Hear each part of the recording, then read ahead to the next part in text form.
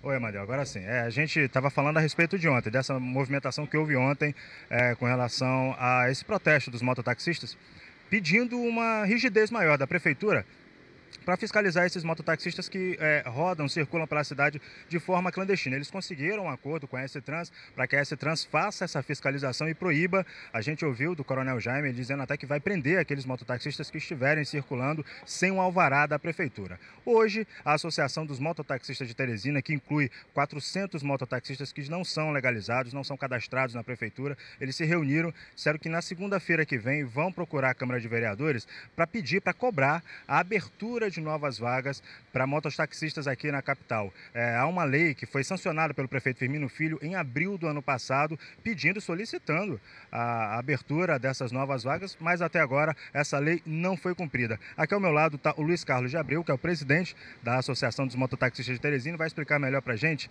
Luiz Carlos, é, de que maneira vocês querem fazer essa cobrança e por que até agora essa lei não foi respeitada. Boa tarde. Boa tarde. Boa tarde, Amadeu. Boa tarde, telespectadores. É, Amadeus, desde 2009 nós vivemos nessa luta para poder nos legalizarmos. É, graças a Deus, é, no ano de 2014, no 16 de abril, criamos um projeto onde ele foi aprovado aqui na Câmara, sancionado pelo prefeito, aonde visa abrir 400 novas vagas para mototáxi. O único problema, o que está acontecendo é que a S-Trans e a prefeitura até agora não abriu essa licitação para que nós possamos nos legalizar. Há esse conflito entre mototaxistas legalizados e os não legalizados, aonde o, o meu temor maior é que venha a ocorrer uma tragédia. Essa licitação, Amadeus, ela tem que ser aberta imediatamente, para que ameniza essa situação entre ambas as partes. O que ocorre é o seguinte: os mototaxistas padronizados, eles acham que nós trabalhamos de uma forma que estamos tomando a clientela deles. Mas o que acontece é o seguinte, o mototaxista padronizado, por, sab por saber que tem um avará, eles cobram os preços abusivos. Já nós cobramos um preço justo. É, não vamos dizer que o mototaxista padronizado gasta isso, aquilo, outra coisa. A mesma coisa do mototaxista também, que não é legalizado. Uma corrida, por exemplo, Amadeus, no HUT para o Puti Velho, eles cobram 25 reais. Do Puti Velho ao HUT, nós cobramos 15 reais. O mesmo percurso que eles fazem, a gente faz. O mesmo gasto que eles gastam, nós gastamos também. E o problema maior está aí. É porque eles acham, alguns, não todos, mas eles acham, por ser padronizados, tem o alvará, eles querem ter o rei na barriga. Mas há, é, Luiz Carlos, com relação até a recomendações da própria polícia de que os passageiros precisam tomar cuidado ao pegar um mototáxi que não tem uma vará, que não está padronizado. É, de que maneira você recebe essas críticas, essas recomendações de que não é seguro andar em um mototáxi não padronizado? Olha, ambas as partes têm o mesmo problema.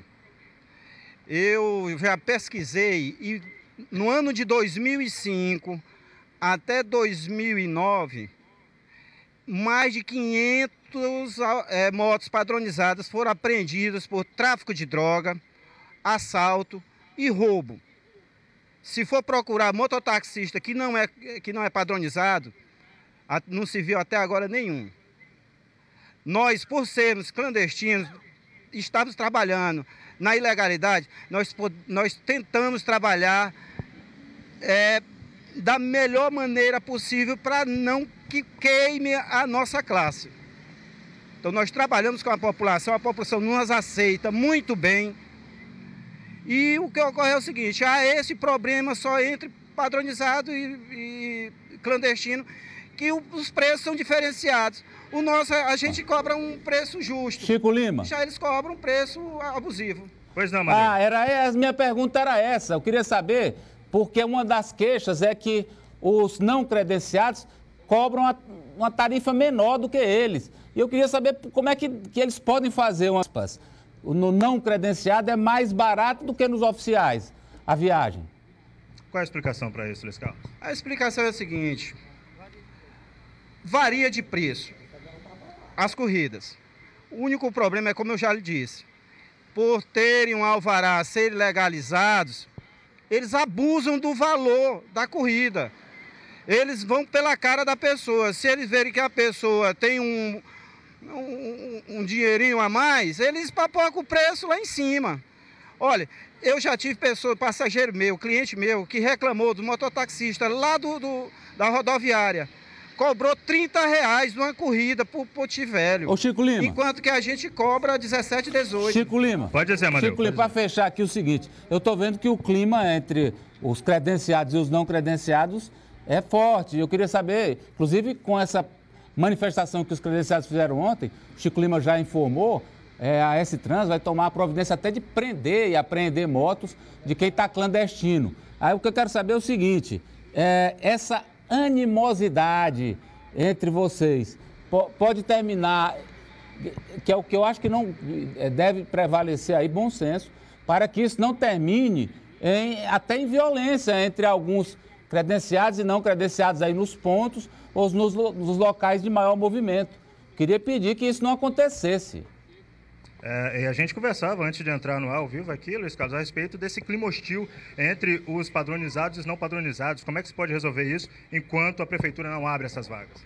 Olha, eu só peço calma a ambas as partes, pois eu já tive conhecimento de que houve é, conflitos entre mototaxistas padronizados e mototaxistas clandestinos, em dois pontos da cidade. É, uma na, na Praça da Bandeira e uma outra ali no Carvalho do, da Barão. Então a gente pede para que ambas as partes se, é, se acalmem, não criamos é, conflito entre ambas as partes, porque todos são cidadãos, todos são trabalhadores, são pais de famílias, todos estão procurando ganhar o seu pão de cada dia.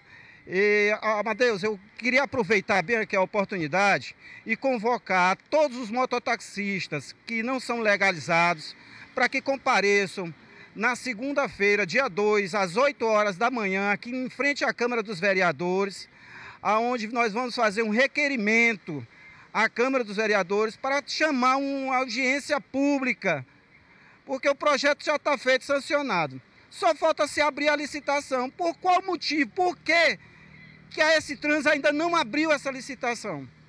Se as vagas estão aí, o projeto está feito. Então só falta o bom senso do prefeito e o bom senso do, do diretor da S-Trans lançar o edital de convocação e abrir a licitação. Através dessa licitação, vai se acalmar esse conflito, essa animizade entre ambas as partes. É o que todos nós esperamos, Luiz Carlos. Obrigado pela participação. Então, Amadeu, fica aí. Na próxima segunda-feira vai haver essa reunião dos mototaxistas não padronizados com os vereadores para que haja uma cobrança de explicações por que essa lei que abre vagas para mototaxistas ainda não tenha sido sancionada, ou, aliás, já foi sancionada, ainda não tenha sido validada pela S-Trans. E aí vamos esperar também que esse clima de animosidade, esse clima hostil entre os padronizados e os não padronizados, que se mantenham calmos até que se chegue a uma solução. A gente volta com você. Obrigado, Chico Lima.